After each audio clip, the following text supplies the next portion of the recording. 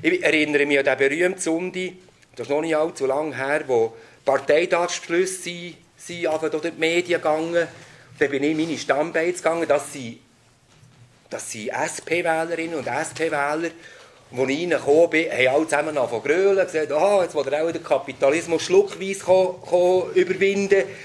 Und sie haben irgendwo, ich weiß nicht, ob das schlimmer ist, oder, wenn sie futtern und sagen, jetzt spinnet er, oder wenn sie lachen und, und flaue Witze darüber machen. Ich hatte jetzt erst auch ein bisschen leer schlucken und eben das mit dem Schluckweisen überwinden. Hat auf Anhieb nicht klappen aber dann habe ich gesagt, ja halt la, jetzt haben wir eine kapitalistische Wirtschaftsordnung, die zweifellos, das bestreitet auch niemand, hocheffizient ist. Also so viel, so, so schnell, so viel Geld vernichtet, wie äh, die, die letzten Auswüchse von diesem kapitalistischen System, das hat kein Staatsbürokrat hätte das fertig gebracht. Dann wollen wir ein System, das weiterhin möglich ist, dass eine Firma eine ganze Volkswirtschaft kann die Wang fahren kann. Wo der Staat muss herstehen und quasi in einer, in einer Garantenstellung, also der muss dann quasi Bürger sein und die gleichen Leute kommen in einem Jahr, wo sie 2 Milliarden oder weiss der Gucker was, Defizit geschrieben haben und gleich viel Boni ausgezahlt haben. Wollen wir ein solches System? Wenn das schon die Überwindung vom Kapitalismus ist, dann bin ich auch für die Überwindung von dem Kapitalismus. Wenn man muss sagen, das ist immer noch innerhalb des Systems, aber immerhin, äh, wenn man das könnte beseitigen, wenn das System, dem System ein paar Giftzellen zählt, kann man, kann man das für mich auch als das schauen. Oder die Abschaffung von der Armee. Ich muss nicht sagen, ich habe ja, so verrückt viel Dienstag habe ich nicht, aber ich hatte zum Teil, ja, zum Teil 24 Stunden Tage, also mit, mit äh, scharfem Arrest und so. Und ich habe wirklich ein gestörtes Verhältnis zu der Armee. Und bis vor kurzem, wenn mir einer gesagt hat, muss man das Zeug abschaffen oder nicht, für mich wäre für mich der Fall klar gewesen. Heute sage ich, wir haben es mit einer anderen Armee zu tun, als die paar älteren äh, äh, Gesellinnen und Gesellen hier innen noch erlebt haben.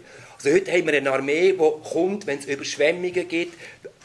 Aber es gibt einen Haufen, einen Haufen Optimierungsbedarf, aber von mir aus muss man das nicht unbedingt abschaffen, sondern man muss es so machen, dass es wirklich zu, zum Sagen und vom Nutzen von der Zivilgesellschaft wird. Und vielleicht noch, eins hat uns ja traumatisiert, und ich schaue hier bewusst in die Gränknerecke rein, wir haben die 1918er Geschichten gehabt, wo alle von uns traumatisiert sind, auch schon nur vom Erzählen, und ich habe noch Leute gekannt, wo ihre Eltern oder ihre Väter dabei waren. Also es ist, es ist irgend zwei, drei Generationen zurück, wo man es noch Oral History sagt man dem, glaube. Wenn man Leute kennt, die einem erzählen, was da passiert ist, und wenn man nicht nur die Geschichtsbücher liest oder die Fußnoten liest, von dem sind wir traumatisiert worden. Aber schaut mal, was in dem nördlichen Afrika passiert ist, wo die Armee dort gestanden ist. Und ich sage nicht, ich will nicht allzu naiv sein, aber wenn es zu einer Situation kommt, wo ich als äußerst unwahrscheinlich oder fast gar unmöglich halte, dass es zu solchen sehr scharfen Konflikten käme.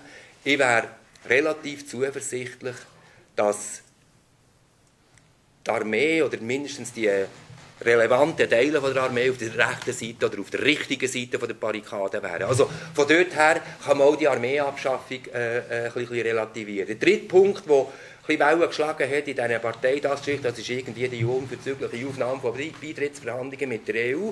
Ich glaube, wer sehenden Auges durch die Welt geht, der weiss, wir dürfen uns die Option Europa einfach nicht zuschlagen, auf ewige Zeit. Das ist unmöglich, eine Insel, die hier irgendwie mit in diesem Europa innen ist, so und so viel Prozent vom Export gehen in diesen Wirtschaftsraum hinein, die sich bis dahin an der Nase führen, was mit, mit Steuerflüchtlingen und man weiss, was passiert ist, dass Europa ist jetzt so langsam erwacht und sagt, also, wir können weiterhin miteinander spielen, aber wir wollen bei der Definition der Spielregeln auch etwas zu sagen haben. Und dort sagen, mit denen verhandeln wir nicht, mit denen wollen wir nichts zu tun haben. Das ist einfach, also das ist frivol, das ist unverantwortlich und ist politisch schlussendlich schlicht und einfach falsch und riskiert den Wohlstand von dem ganzen Land.